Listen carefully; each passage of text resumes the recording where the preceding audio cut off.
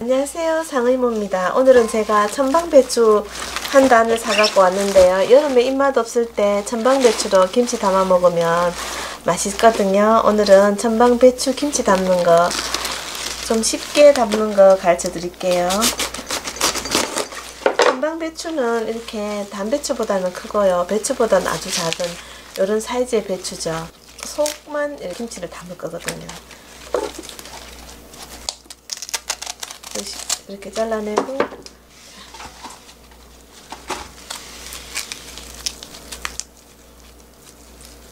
이렇게 자른 거를요. 겉껍질은 한 겹씩은 다 벗겨내고요. 이렇게 거 너무 크죠? 그런 거는 이렇게 반 좀 잘라도 돼요 이렇게. 반쯤은 잘라도 되고요. 아니면 그대로 담아서 쭉쭉 째 먹어도 되고요 이 정도는 그냥 담겠습니다. 크게 담아서 한 개씩 쭉 째먹던지 아니면 그냥 길게 드셔도 되고요. 이게 속은 좀 상태가 안 좋네요. 이런 거는 안 좋은 거는 잘라내고 이런 거는 껍질은 다 삶아서 국 끓여 먹으면 돼요. 다 따듬었는데요. 여기다가 이제 소금을 절이겠는데요. 500ml 물이거든요. 500ml 물에 종이컵에 소금 한 컵을 붓고요.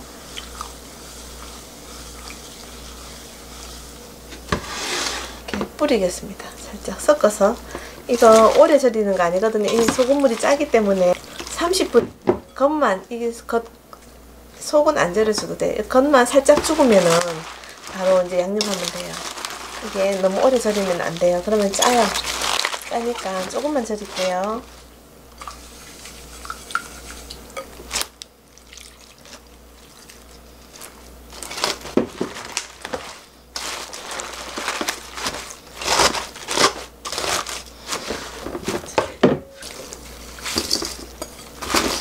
이거 지금 소금이 굉장히 짜니까 너무 오래 절이면 안 됩니다.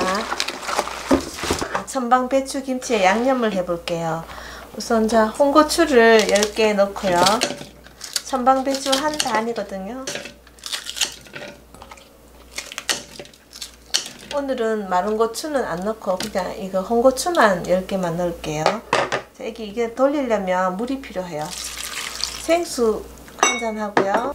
가른 마늘이 있으면 쓰시면 되는데 사실은 여기는 통마늘을 쓰시는 게 더 맛있어요. 마늘의 향으로 먹기도 하거든요. 통마늘을 두 줌 넣을게요. 통마늘 두 줌 넣고요. 그리고 여기는 밥이 들어가는데요. 제가 이거는 오늘은 풀이 아니고 밥을 삶았어요. 이렇게 밥을 그냥 음, 집에서 먹던 밥을 넣어 보니까 완벽하게 잘 안 갈아지더라고요. 그래서 저는 물을 조금 넣고 좀 끓여가지고 이렇게 끓는 물에 조금 끓이다가 뚜껑 덮고 그냥 식혔어요. 식히니까 밥알이 저절로 이렇게 불어가지고 죽이 됐거든요. 이거 찹쌀 아니고 맵쌀밥이에요. 맵쌀밥. 이것도 종이컵으로 한 컵 넣을게요. 자, 종이컵으로 한 컵 넣고요.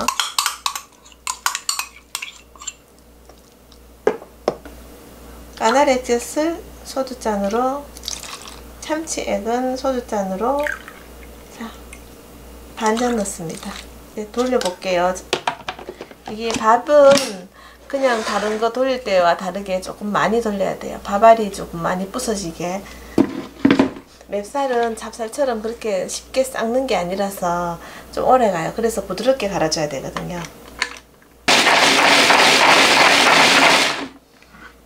자 이렇게 밥알이 좀 갈아졌다 싶을 정도만큼만 갈아주면 됩니다. 그럼 여기에 이제 소금을 조금만 더 넣으면 될 것 같은데요. 오늘 천방배추는 많이 절일 게 아니고 거의 안 절이다시피 살짝만 절일 거거든요. 그래서 역시 이 양념으로 간이 돼야 될 것 같아요. 한 숟가락만 넣어주겠습니다. 딱 30분 절이는 배추가 이렇게 됐습니다. 이게 소금물이 워낙 짜니까 30분만 절여도 이렇게 이렇게 겉부분은 거의 다 절여졌죠. 이제 이거 깨끗하게 헹궈 올게요. 배추 절인 거를 깨끗하게 헹궈 왔는데요. 여기에 들어갈 야채를 조금 썰을게요. 대파는 너무 많이 안 넣으셔도 되고요. 조금만 넣을게요. 조금만 넣고 한 반 뿌리 정도 넣을게요. 이거는 붉은색 양파거든요. 자, 붉은색 양파도 반 개만 넣을게요. 이게 색깔이 예쁘니까 붉은색 넣고요. 그리고 하얀색 안 보이죠? 하얀색 양파도 자, 반 개만 넣겠습니다. 양파 없으시면 그냥 양념만 넣으셔도 돼요. 저는 그냥 있어서 넣는 거니까. 그리고 당근을 조금만 넣을게요.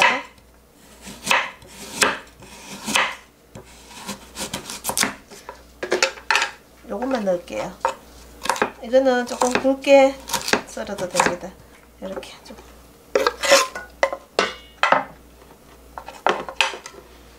자, 이제 버무려 볼게요.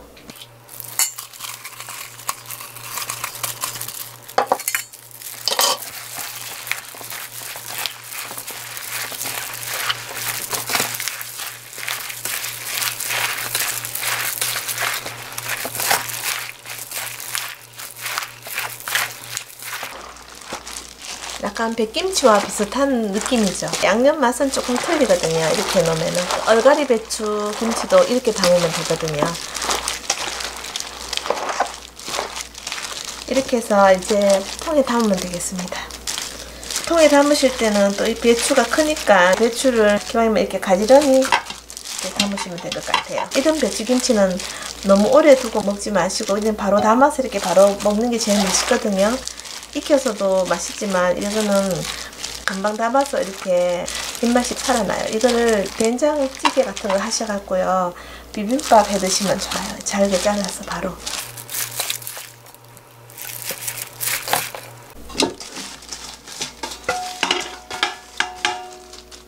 자 이렇게 어, 천방 배추 김치가 완성되었습니다.